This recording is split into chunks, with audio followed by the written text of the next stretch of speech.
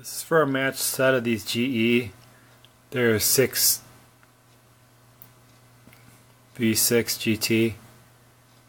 And then right here 5643 18820 56 is 1956 made in the 43rd week. 188 is GE and here's the other one. Turn off the light so you can see there's glowing. There's the bottom glowing too. Turn back on the light.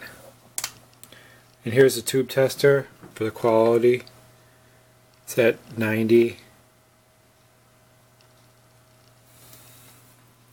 and they both test at 90